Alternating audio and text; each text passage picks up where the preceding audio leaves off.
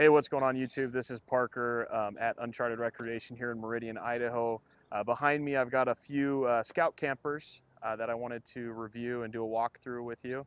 Uh, today we're going to be focusing on this guy here. This is the Scout Kenai. This is the largest of the four models that they offer. Um, so yeah, let's get into it. All right, guys, so this is the 2024 Adventure Scout Kenai. Again, the biggest of the four models. Uh, this unit has a base price of 26990 with a huge list of options that you can add or take off uh, depending on your liking. Um, this unit in front of me is equipped with the following options. It has the removable camper jacks, the clear view bunk windows, the diesel heater option, the bilateral bed rail runners, uh, the exterior two gallon water pack, and the universal awning bracket. Uh, as for interior, it has the portable Dometic indoor-outdoor cooktop, uh, your 75 liter refrigerator, hanging storage bags on both the driver and passenger side, and the Portaledge bunk extensions. Now, I'll go over all these options a little bit more in detail as we walk around the unit, um, but that is what this one has. I'll leave a list of all these options and the prices for each in the description below. Um, but yeah, here's a couple specs on the unit itself. Uh, this is built for uh, heavy half tons, but realistically, this is made more for your three quarter tons and one ton trucks, um, coming in at a base weight of 1,265 pounds before any options.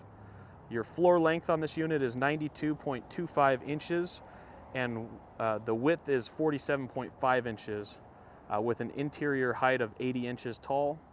Uh, you do have an onboard 10 gallons, or excuse me, 10 pounds of propane uh, 4.9, almost 5 gallons of fresh water capacity.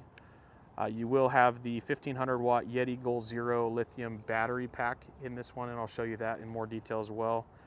Um, the bed on this unit is 52 inches by 80 inches, and then you do have a secondary sleeping option with the dinette. Um, the exterior dimensions of this unit are 145 and a half inches long, 83 inches wide, and that's without the awning option and then 83 inches tall without the rooftop tent option. Uh, this unit does come standard with 175 watts um, of solar, and that is roof mounted. I'll show you that. Uh, and this unit does feature a fully gel coated fiberglass um, as well, making it extremely durable with its exoskeleton um, aluminum framework as well. So we'll uh, dive into the details here, start towards the front, kind of work our way around as always. All right, starting at the front here, you're gonna notice those nice big clear view bunk windows. Um, that is again an option. What's cool about them is they're acrylic and they do open. Um, I can show you that from the inside here in a minute. Um, on top here, let me zoom out a little bit. Uh, this is gonna be your 175 watt Renogy um, solar panel. It's roof mounted and then you've got a light bar above that. So super cool that they thought of that. And then underneath, not much to show under here, but I'll show it to you anyway. These are gonna be those removable jacks I was telling you about. These are happy jacks. Um, pretty straightforward. There's a bit that you get for your power drill that just hooks in here and then you away you go. And you kind of have to do all four um, in a circular motion until you get this to the proper height. Um, they do have these removable pins though, so once you get this camper loaded into your truck, you can take the jacks off, um, so that way they're not sticking out like they do on some of the traditional truck campers out there. Um, so you don't have to even bring them with you if you don't want to, uh, or if you don't have plans of um, taking the truck camper out of the bed of your truck. So pretty cool. Really cool design language on this. Uh, you'll see this curvature around the front. Uh, interesting fact, from the back corner over here where the wall starts all the way around the camper. No seams at all. All the way to the back here. That's all one piece. Um, so really really cool how they were able to do that without um, any seams. And then all these extrusions here these are uh, aluminum. So this is that ex exoskeleton I was telling you about. It's got an internal seal and an external seal here. Um, so you don't have to worry about water getting inside. So pretty cool. Um, but yeah, that's pretty much it for the front side. We'll work our way around the uh, driver's side here. So these are going to be those uh, rail, uh, bed extender rail option. Uh, what it's kind of designed to do is give you a, a mounting option for uh, you know shovels, axes, um, even maybe um, water or I don't know. There, there's a lot of things you can do with it really, but it's also uh, to kind of fill in that empty space that you see on a lot of truck campers that kind of make them look tall and awkward in the bed of your truck. So part of it's just cosmetic as well. Um, but yeah, those are called the uh, bilateral, sorry, I got to pull up my notes here. My bilateral uh, bed rail runners um, is what those are, are, called on the website. Um, stepping back here a little bit, uh, you've got a pretty large window here, same style as the front windows. It does prop open and it's gonna give you not only uh, privacy blackout shades as well as a bug screen. A really cool design. Again, we'll show you that more in detail on the inside. Underneath here, you're gonna see these ratchet straps. So that's right, there are, uh, the only way that you secure this in your bed is just with these four ratchet straps around, um, which is cool because you get to use the existing D-rings in the bed of your truck versus going out and spending over a thousand dollars worth of TorkLift or uh, whatever uh, to be frame mounted on your truck. So really cool that that uses that. Um, that's your center of gravity point there.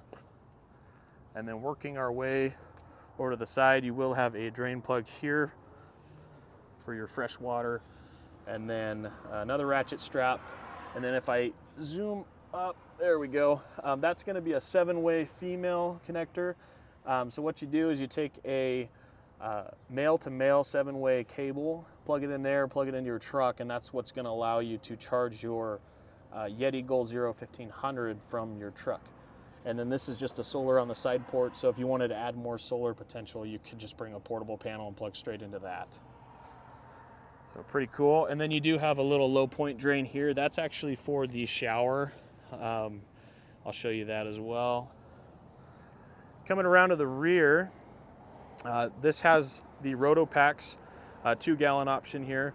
Mounts on the, the back here and uh, pretty cool, pretty accessible. Uh, you can put water in these. They do make um, red ones for gasoline as well. You do have this bracket up top. This is actually where your license plate will go in these holes here. And then you can hang stuff on here. You've got a door stop. Um, so just kind of a nice little bracket to have. Um, this does have the optional diesel heater, um, which is awesome. It uh, has it carries two and a half gallons of fuel. It's extremely efficient, um, so you don't have to worry about getting cold while you're out and about. And then you will have an external light up top here. All right, coming around to this side here, we'll squeeze in here. So there's again is that bilateral rail option. Um, up top, this is what your universal awning bracket's gonna look like. That'll focus okay. Um, that piece there, and then there's another bracket over above the window. Um, that's gonna allow for you to um, buy any external awning that you wanna use with this without buying the one that Scout offers. So maybe you want a 270 degree awning or what have you. Um, all right, so they changed the doors on these. They now open uh, from bottom to top. Nice, good sized storage in here for whatever you want to bring along with you. Go ahead and shut that. And these are lockable. Actually, no, it does not look like, oh yeah, there it is. There we go. So you can lock it. All right, and then up front here, this one does not lock for safety reasons, but this is gonna be where your 10 pound propane tank sits. There is room for another tank if you wanted to add another tank, and it's all plumbed and ready to go for that. So kind of cool that they included that. All right, that's pretty much it for the outside though, guys. Um, not a whole lot. It's pretty minimalist, and you'll notice these are built to be very modular. You can take things off, you can work on them, put them back on. Um, so pretty, pretty cool. Uh, but let's head on to the inside and I'll show you what, uh, what makes this thing so special. All right, so coming in, you'll notice this door is actually a friction hinge door. So wherever you leave the door, it'll stay, and it has some, um, I guess, friction uh, that keeps it in place, which is nice. So if it's windy, you don't have to worry about your doors slamming shut all the time. You do have a rear window with this nice cover here that just snaps on. Very cool. Um, I'll show you this now. So uh, you've got this little drain plate here. This does come out, um, but basically it allowed you to use this space as a shower. So your water will just fall through. And then remember, there's that drain on this side of the camper that you just open up. Um, so pretty cool. There is no heated shower option in these yet anyway, um, but you can use um, this water tank here with the little hose attachment to take a shower if you really needed to. But it is not heated, remember that. Um, you'll have a fire extinguisher here next to your door. And then this one, since we didn't option it with the um, either of the toilet options, um, that's what the space would be for normally. So they have uh, just a normal portable toilet option that you can take in and out of the camper as you please. And then they've got another cassette style toilet that would sit in this space here uh, with a cassette option, uh, which would be, you could empty it right here. So we did not option it that way, but just keep in mind that's what this space is for. Uh, you do have this cool little shelf that folds down and sits right there. So you can set stuff on top there if you like. Nice little storage cubby in here. All of the cabinetry in this is made in-house. It's very, very high quality. And it's laser cut. All right, nice storage compartment up top, very big. You can use this as a closet. Does have some good spaces uh, up top to hang your clothes or what have you. And then your diesel heater is going to be coming out of um, this port here. It's nice that they angled it too. Alrighty. Thermostat's going to be located just right here. Working our way up. You'll see these uh, little D-ring looking things hanging from the ceiling. So that's actually designed to hang a shower curtain if you were to want to shower in here.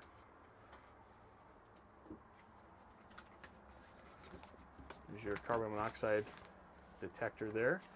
Now on this side of the camper, you're going to have these adjustable cubbies. So as you can see, you can kind of adjust the height at which you want these to rest.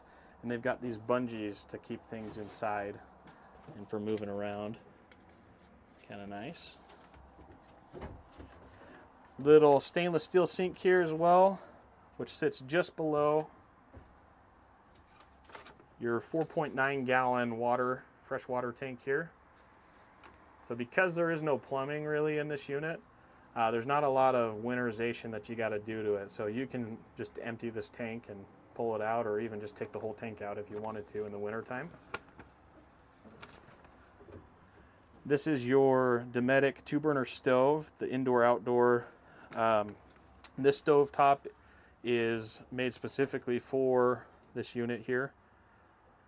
You can use other stove tops. You just got to make sure that the propane um, will work with the system that they have already tied in here. Down below, you'll have a little Yeti bottle opener here. Some nice Scout branding. Good size cubby as well in here. This is your 75 liter Dometic refrigerator. Freezer combo as well, so you can set the temperature to what you like. There's a little screen on this side for that. Now's a good opportunity to show you guys how these windows work. So you've got these little clips here Ooh, this might be hard to do one-handed. We'll try it. All right, there we go. So just unclip both. Your black, your privacy screen will go up just like that. And then on the bottom, if you lift this side up, you've got your bug screen. And then you've also got these little latches all the way around, so you can just flip those all. And then the whole window can prop out, and it's got uh, a couple different settings. So see if I can do it right. Maybe. Anyway, you can prop it up. Okay, well, it, I did it a second ago. I promise it works. Um, but then, yeah, and then you can lock it shut just like that. And they are uh, dual pane, so they will keep you warm. So up top here, you've got the passenger and the driver side um, storage bags. They just clip into these um, brackets mounted to the ceiling.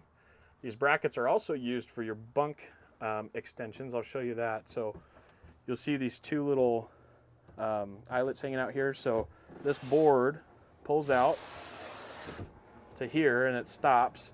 And then you, there's a couple straps that come with it that hook into these holes here. And then they hook up top to support your platform.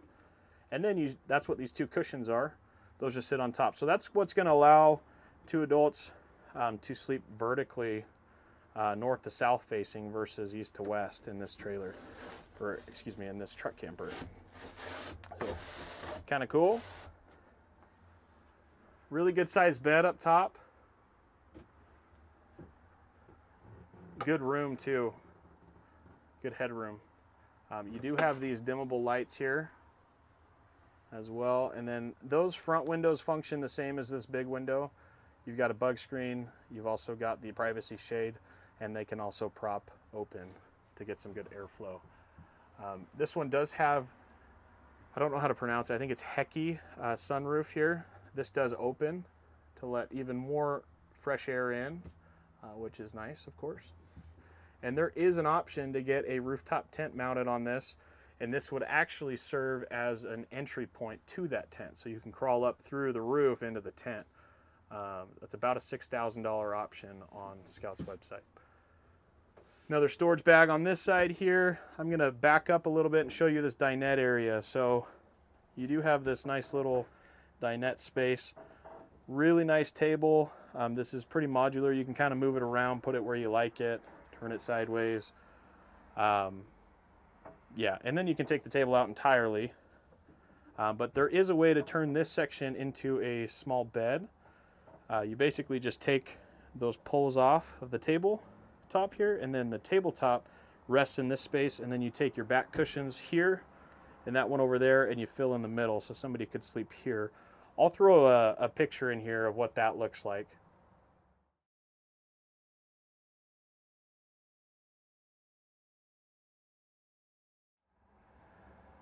All right, now that you know what that looks like, um, let's show you this Yeti Goal Zero. So again, this is the 1500X lithium um, really big capacity in this battery here. It is already pre-wired to your solar up top, the 175 watts, and it's also wired your seven way. So again, if you get the right cable, uh, this will charge as you're driving.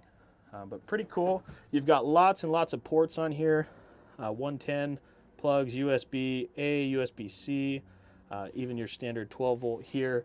Uh, really cool though because you can take this whole unit out if you wanted to uh, and just use it um, outdoors or even in your house if the power ever goes out. So it's a self-contained unit, has an inverter built into it. It's really, really cool. That's kind of the way the industry is going here. Um, you do have this nice little cubby underneath. You can kick your shoes off and put them inside there. Another one on this side as well. And then you've got this pretty deep one under your dinette here.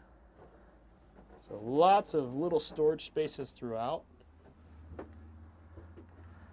turn around this way. And you've got another pretty deep one under the seat of the dinette on this side. So pretty cool. I'm sure I didn't hit on everything in this video, but hopefully this gives you a good overview of this truck camper. Um, truly, this video is probably not going to do it justice.